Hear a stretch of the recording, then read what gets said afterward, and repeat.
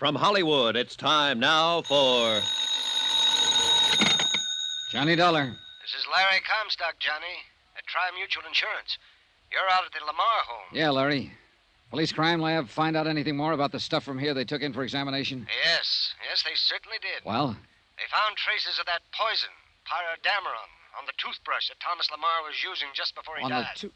Are you kidding? Oh, no. No, indeed, John. Not a bit. There's a murder weapon for you a toothbrush. Larry, send the cops out here. I think I've just about got this case sewed up.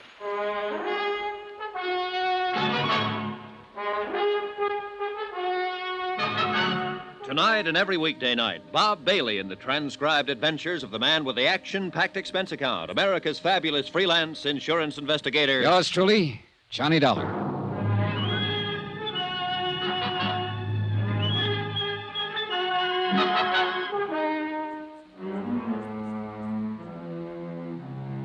Expense account submitted by Special Investigator Johnny Dollar, location South Bend, Indiana. To the Universal Adjustment Bureau, Hartford, Connecticut. The following is my final entry of expenses incurred during investigation of the LaMarr murder. And murder it most certainly was. It was in La Jolla, California, during my so called vacation, that I met, and I must admit, kind of fell for Vonnie LaMarr.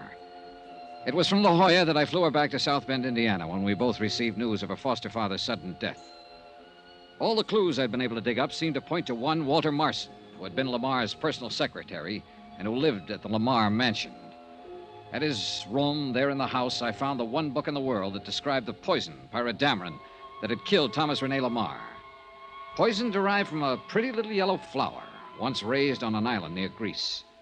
A flower with sudden death in its pollen. Huh? You're Johnny Dollar, aren't you? Harrison the butler said you were up here. And you must be Walter Marson. What, uh, what are you doing in my room? Let me ask the questions, Now, just a minute. Look, mister, you may as well know it. I'm an insurance investigator. So Harrison said, but I don't believe it. Right here, my credentials. Uh-huh. Oh, I, I see, but I, I thought... You thought I was just a boyfriend that Vonnie LaMarr met in La Jolla and who just came back here with her to comfort her over the loss of her father. Yes, yes, that's right. Well, you were wrong, mister. Or partly so. The main reason I'm here is to find out who murdered Thomas LaMarr and why. And I think I've found out. You have... Well, well, who, Mr. Dollar? Interesting book you've been reading here.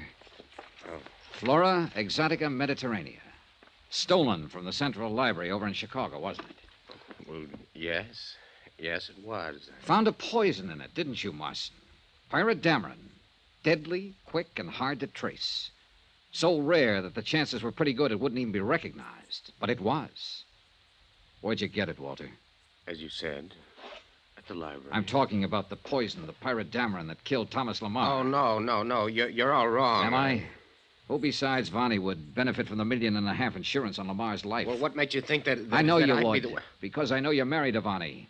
Oh, no. you tried to inveigle I- your way into LaMarr's business, but he wouldn't have it. All your chiseling and conniving and phony stock transactions got you nowhere. So you did the next thing you could think of. You got something on Vonnie and forced her to marry you. So you thought you'd at least be sure of a big hunk of the insurance money over my dead Oh, no, look, Dollar, maybe I was Yeah, married to sure. Vonnie, I but... Uh, found out about her big gambling debts, got her off the hook by some fancy manipulation of her foster father's investments. No doubt threatened to tell him all about it unless she did marry you, and thereby guaranteed yourself a prosperous future. Oh, and you timed the whole thing beautifully when she was emotionally upset over the death of Mrs. LaMarr. No, Dollar, you, you don't know But what you you're got talking impatient. Couldn't wait for him to die a natural death. about. Dollar. Mr. Dollar. Sure, go ahead, speak up and make it good. Well, I, uh, I was married to Vonnie. But I'm not now. Sure. That's right. I did want a place in LaMarr Metal Products, and I, I thought I could get it by showing Mr. LaMarr how clever I was. well, instead of throwing me out, he gave me another chance. I'll be forever grateful to him. It was a turning point in my life. I give you my word, Mr. Dollar, I've done nothing since that time that's been anything but completely honest and above board. Pretty speech. No, no, it, it's true. It's it's true. I swear it. Nevertheless, you married Vonnie in the hope We're that. divorced. You're what? Well, it was the only honorable thing I could do. Would you like to see the final papers? Vonnie mailed them to me from Reno before she went to La Jolla. You mean she. Yeah, let me see him. Here. My desk. Don't try to pull a gun out of there, Marson. You still don't believe me, do you? Are. Hmm. Then would you like to tell me who did murder Thomas LaMarr? I wish to heaven I knew. That's why I got this book, hoping to find some clue as to where the pyrodamarin might have come from. But you sneaked this book out of the library. Because. I was afraid of the very kind of suspicion that you've shown. Want to know something? I'm still showing. And I tell you you're wrong. A- a- ask Vonnie. She'll tell you. Oh, where is she? Harrison said you two had gone out together to make arrangements for the funeral. Yes, we did, and we came back together. But when Harrison told her that you were here to see her, she. Well, she, she said she'd be back in a few minutes. Where did she go? Oh, she's still in the house somewhere, I, I think. Marson, just what is your relationship with Vonnie now? No, there never was any love between us. Our marriage was only on paper. Yeah? The foster daughter of the man to whom I owe so much, it's my duty to do what I can for her. In spite of her. Whatever what? Oh, even to the end, we, we kept from him any knowledge of her dissipations, her drinking and gambling. I thought that was all over. Oh, she's more deeply in debt now than she's ever been. I'm I'm thankful Mr. LaMarr died without knowing. What I'll be. But with the insurance, of course, you'll be able to pay off. some- Marson, you're a dirty rat, and your accusation isn't very well veiled. Are you trying to say that I'm accusing Vonnie of the murder? Oh, Mr. Dollar. Yeah, go on. This book. According to this, the plant from which Pyrodamarin is derived is now extinct. Unless somebody, somewhere, managed to salvage some seeds that were then Yes, yes, planted. exactly. Lephra purpurus calendus, found only on a small Grecian island. I. I wonder if Dmitri would know. About Dimitri, what's this sudden switch? Who's He's the old gardener. He's, he's here on the estate. Come on, Marson, and bring that book. Before going out to the gardener's cottage, I asked Harrison where Vonnie had gone, and he told us he only knew that she was somewhere in the grounds, that her car was still in the driveway. I phoned Larry Comstock again, but he'd left his office, presumably to come out here. And I called the man I'd talked to earlier at the library. Of course I can. As I told you before, I keep a very close check on the books in that section. Uh, let me see now. Yeah, yeah? Yes, Flora Exotica Mediterranea has only been out four or five times in the past several years. Once to a Mr. Thomas. Yeah? Uh, Thomas Hanley. Oh, Uh, to a Mr. Ralph Cummings, Miss Levon LaMarr, and. Uh, that's enough. Thanks.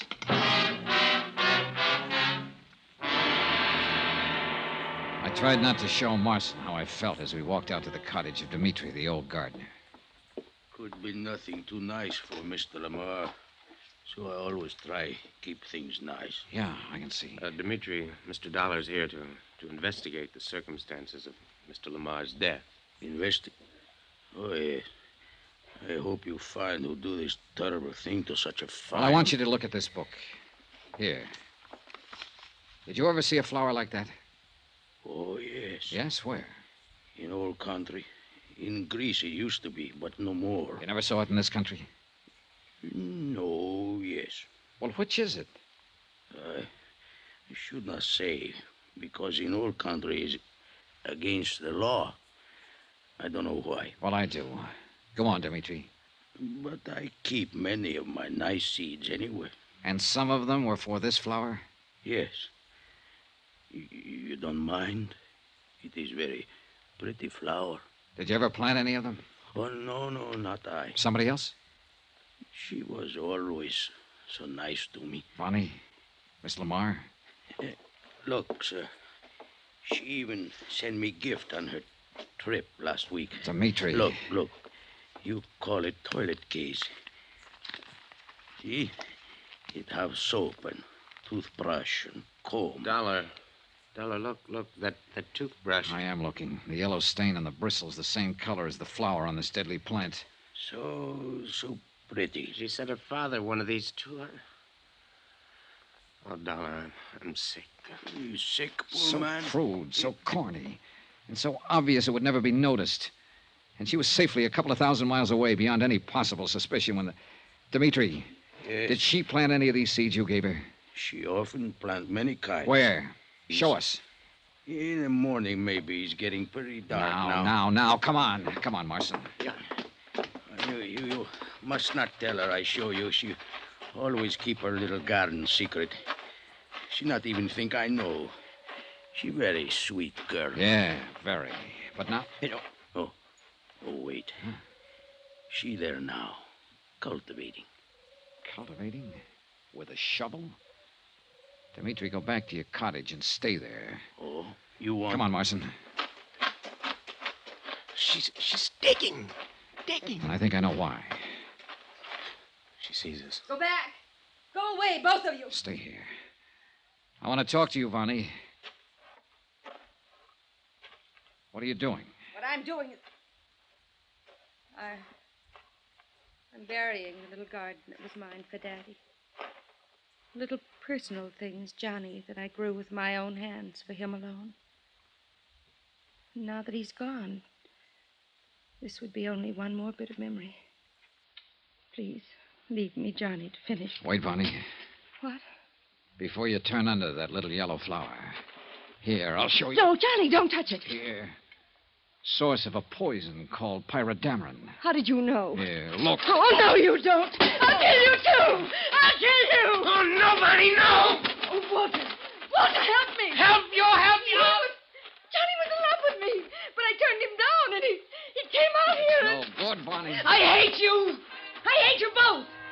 Everything would have been all right if you hadn't come along. I hate you. I. Listen, Johnny. Million dollars. Million and a half. You and I could. You dirty. No, Johnny, please don't. Please.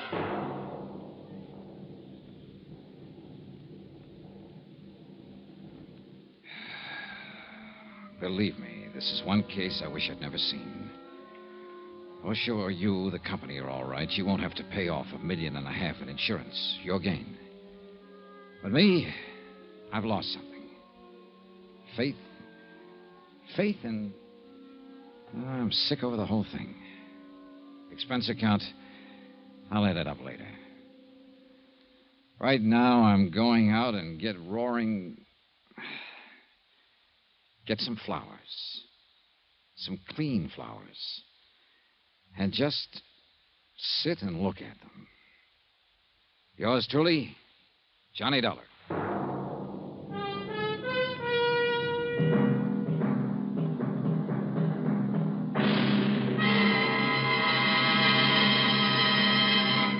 Now, here's our star to tell you about next week's exciting story. Next week, tell me, did you ever wake up from a pleasant dream to find a smoking gun in your hand and two bodies at your feet?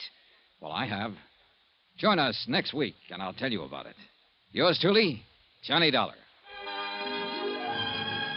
Yours truly, Johnny Dollar, starring Bob Bailey, is transcribed in Hollywood. It is produced and directed by Jack Johnstone, who also wrote this week's story. Heard in the cast were Virginia Gregg, Lawrence Dobkin, Harry Bartell, Eric Snowden, Howard McNear, John Dehner, Jean Tatum, Joseph Kearns, Paul Richards, and Jack Moyles. Musical supervision by Amerigo Marino. Be sure to join us on Monday night, same time and station, for another exciting story of yours truly, Johnny Dollar. Roy Rowan speaking.